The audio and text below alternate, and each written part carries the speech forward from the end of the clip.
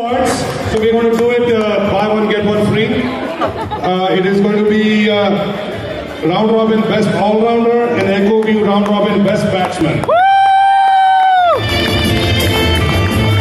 Amar Surve had 269 runs and 15 wickets and 69 runs as a batsman.